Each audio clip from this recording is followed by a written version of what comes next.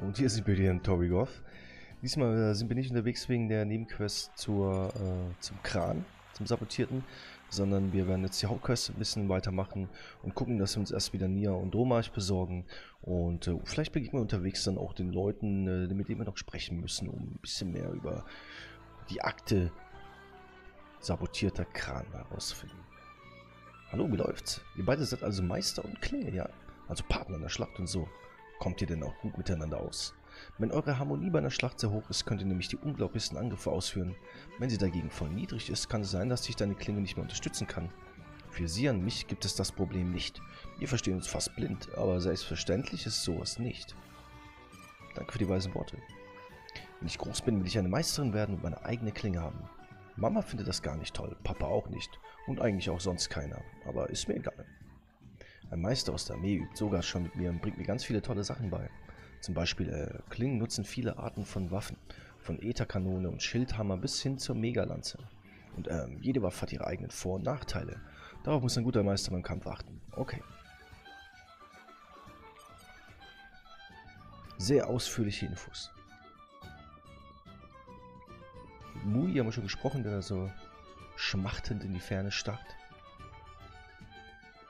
Gehen wir mal runter zum Schiff, denn dort soll die, soll eine Gormotti, wir wissen nicht, ob es die Gormotti ist, nämlich Nia, gefangen gehalten sein. Ich hoffe es, aber wer sollte es sonst sein? Wie viele Gormottis gibt es hier in Gormott? Wahrscheinlich eine Menge, aber naja. Ich hoffe, Dromarch ist auch dabei. Aber ich muss schon sagen, also ich kann ich kann es nicht erwarten, bis der Patch kommt. Ich glaube am 21. Am Tag des Winter Sales. Steam Winter Sale. Äh, dann kommt der Patch zu Xenoblade Chronicles 2 und ähm, ich, ich bete. Ich warte, ich sehne mich nach diesem Tag, denn die Karte ist eine Katastrophe. man kann kaum was erkennen, weil die Transparenz so, so, so ist und weil man nicht zoomen kann und nichts. Und ähm, das wird sich ändern mit dem Patch. So, wir kommen auf den Klonhof. Okay, den besten Bauernhof. Die Gomotti, die hier arbeiten können, übrigens alle zu meiner Familie. Okay, ja, okay, okay. Oh, wir dürfen uns auf dem Feld bedienen. Ein netter, netter Mensch, dieser Nubi. Ja, dann kommen wir nur gleich mal nach, ne? Ja, noch mehr Pflicht oder Kürbis und eine heiße Orange. Ja, und eine heiße Orange hat äh, Piri uns schon was gekocht.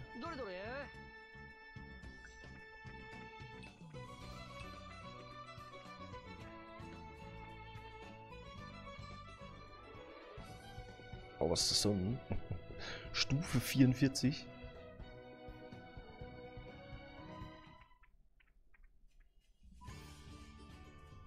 Ja, ich habe mich gerade gefragt, wo ist das Schiff? Da ist das Schiff. Es ist so groß, man, man könnte meinen, es sei ein Teil äh, des Titans, auf dem wir uns befinden. So, jetzt müssen wir nur gucken, wie wir da reinkommen.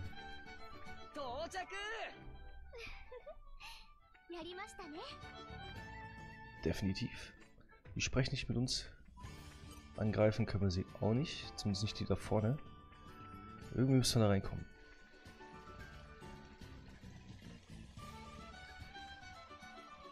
Hm.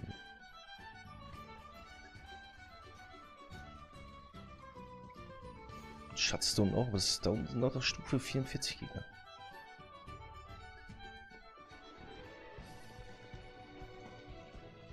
Ich glaube, auf den Weg kommen wir nicht rein. Wahrscheinlich ist der Weg rein total profan. Irgendwie eine Tür oder so. Eine Seitentür. Deswegen, ähm, ich gucke jetzt nochmal von hier oben. Wir haben jetzt aber noch gar keine Hinweise, wie wir überhaupt irgendwie da reinkommen sollen. Und bei den Quests taucht auch die Hauptquest aktuell gar nicht mehr auf.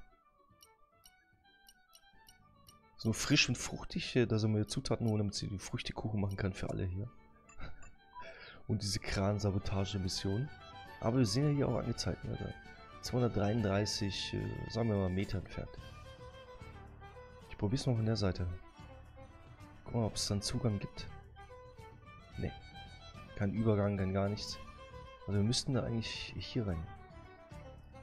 Also sie nehmen hier bei Xenoblade Chronicles 2 nehmen sie kein, äh, eigentlich an die Hand. Also questtechnisch muss man sich schon an äh, Asta suchen, wobei das könnte natürlich auch an mir liegen. Ah, da ist eine Leiter runter. Hm.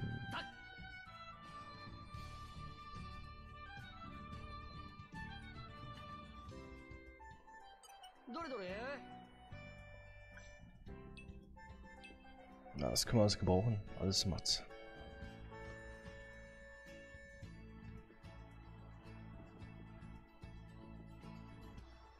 Jetzt auch noch weiter runter. Vielleicht können wir das äh, von der Seite infiltrieren oder so.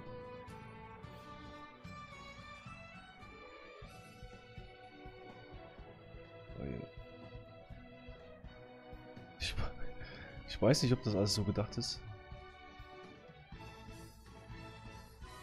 Ah, okay, jetzt ist äh, die Flut da.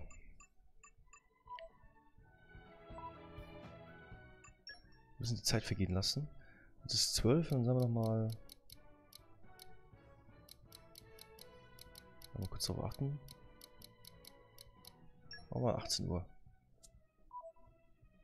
Oh, noch schlechter.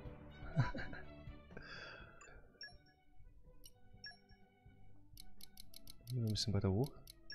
3 Uhr. Das sah schon besser aus.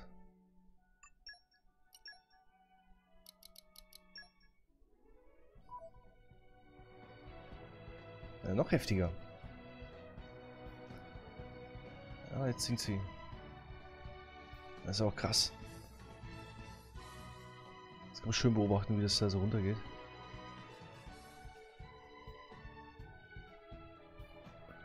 Okay, dann gehen wir noch mal zwei Stunden vor, dann müssen wir uns das nicht äh, geben und äh, noch zwei Stunden warten. Auch wenn eine Minute hier eine Sekunde ist.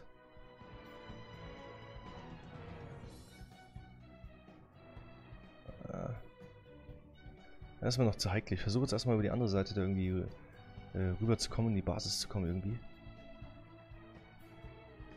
Er will ja nicht springen. Der, sch ah, der schwimmt hier. Na super.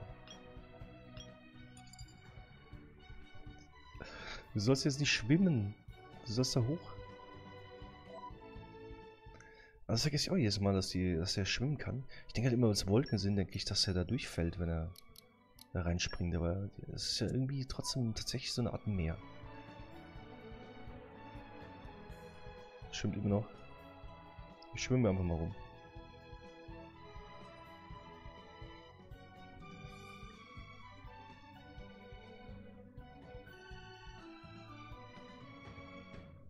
Irgendwie müssen wir auf das Schiff kommen.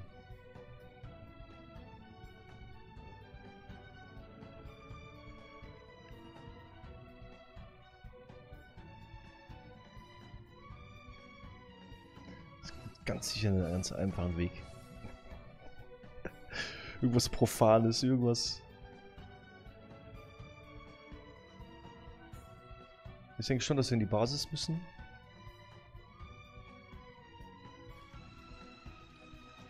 Aber dann... Ja, weiß der Geier. Wir machen uns aber mal eine kleine Sightseeing-Tour hier im Wolkenmeer.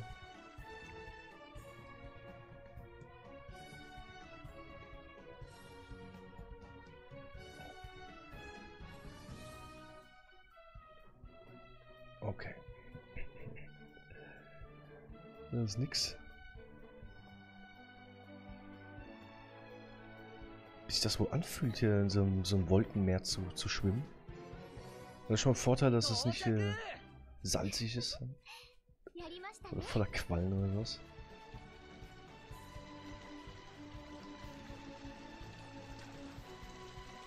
Oh giftig, super.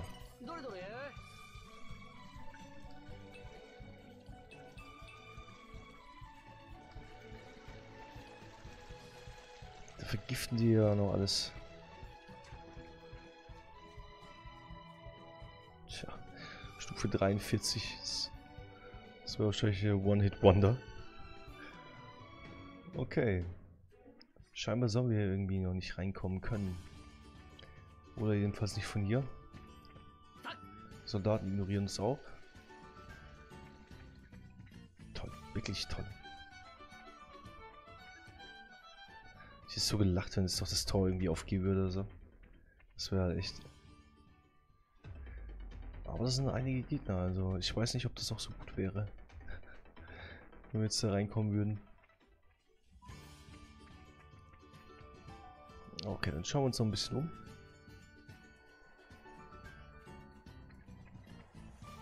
Ah, Puyo Puyo. Lange nicht mehr gesehen. Also die Sache ist so, Nunu, geht um kaputten Kran, ja? Hab nur Gerücht von Amas gehört. Es ist also möglicherweise Bockmist. Amas reden viel, wenn Tag lang ist.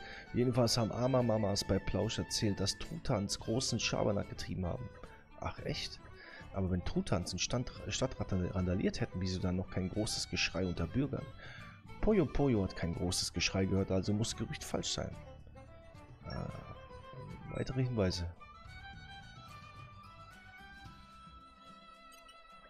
Wir haben gestern Zuwachs bekommen, ein kleines Adon-Kälbchen. Seht euch nur mal an, wie niedlich es ist. Ja, das ist tatsächlich niedlich.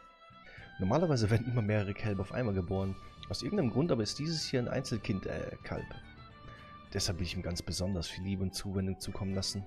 Verstehe. Hey, ihr seid doch Meister, stimmt's? Ja.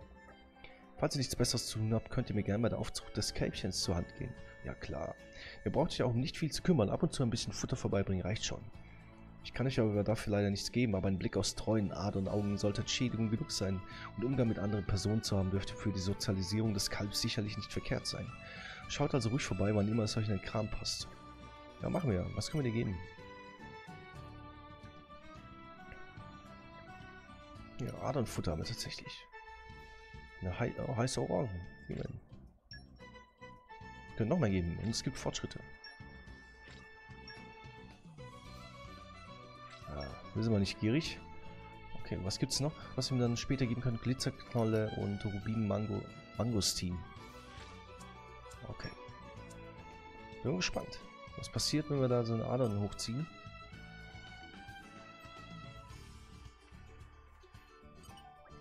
Ich passe auf die Amas auf. Die sind so süß und niedlich und kuschelig und einfach mega toll.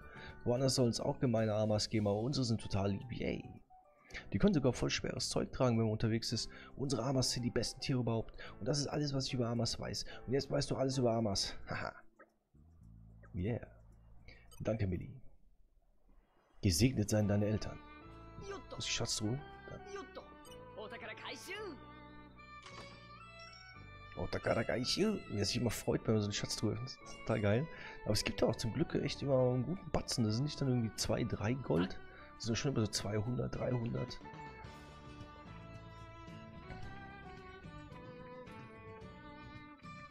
Das meine ich. Ich, ich rufe die Karte auf, da seht ihr echt so gut wie nichts. Wenn ich die Transparenz weggelassen hätte, aber wir halten noch durch, bis der Patch kommt. Eindeutig. Ja, und auch die Anzeigen lese ich irgendwie falsch. Also oben Kompass, wenn ich dann dem Ganzen folge, dann ist es so, ich komme nicht wirklich äh, direkt am Ziel an. Ich muss meistens irgendwie einen Umweg gehen oder so. so jetzt, jetzt dreht sich schon die ganze Zeit. So, okay, irgendwo unter mir. Also kommen wir vielleicht von hier unten äh, aufs Schiff. So. Jetzt seht ihr aber auch die äh, Entfernung. Genau. Muss auf die Entfernung achten, dann laufe ich äh, entgegen der Entfernung. Beziehungsweise ich laufe mit der Entfernung, die sich ansenkt. Und das ist etwas verwirrend. Muss irgendwo die Geheimtür sein. Da. Das wird ja auch nicht angezeigt, glaube ich. Nee. Das muss man einmal wissen, ja. Das ist, das ist übel. So, jetzt, bis jetzt dachte ich, sei verwirrt. Ihr seht, ich habe die Geheimtür gefunden. Aber, ähm, ja. Klar war das nicht. 入港した軍艦の中というのがまた厄介じゃな。どうやって助け出したもんか。軍港は警戒厳重だもん。やっぱりここは男らしく正面突破ダメです。みんなが危険な目に遭っちゃいます。まあそうだよね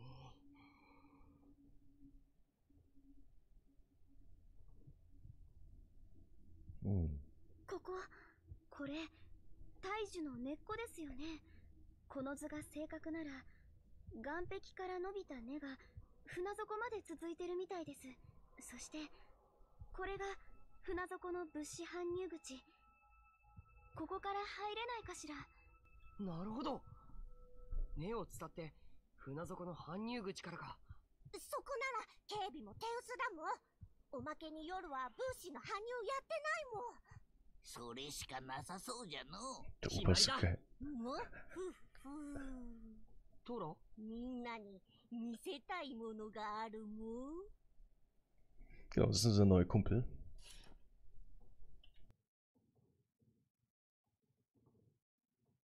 これは誰にも見せたことのないトラだけの秘密。人工ブレ人工ブレイド？これが、ードなんだもんトラ はドライバーに憧れてたもん。でもトラにはトラにはドライバー適性がなかったんだもん。なんでそんなこと決めつけるんだよ。そんなのやってみなけりゃ。あやっちゃったのか。トラは1年前ドライバースカウトに志願したんだもん。ダメじゃったのか。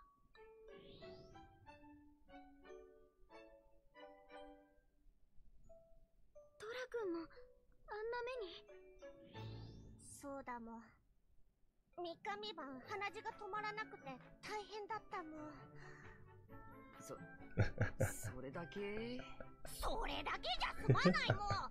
鼻血だって。出血.多量で死ぬこともあるもん。聞いたことないな。それは置いといても。置いとくのか。ていうかあっさりすぎるだろ。とにかくこの人工ブレードが完成すれば適性がないトラでもドライバーになれるもん。しかしすごいもんじゃのう、トラ。お主が一から作ったのか？作り始めたのはじいちゃんとお父ちゃんだもん。でもじいちゃんは死んじゃって父ちゃんもどっかへ行っちゃったもん。トだからトラはこいつを完成させてドライバーになって大活躍するもん。そしたら噂を聞きつけた父ちゃんも帰ってきてくれるもん。トラ君。ところでトラ。この人工ブレイド、見たところほとんど完成しているようじゃが、あとはどうすればいいんじゃ？もふふあとは足りないパーツをいくつか買ってくればいいもん。あでもトラお金全然持ってないもん。ラえー、マジで？マジだもん。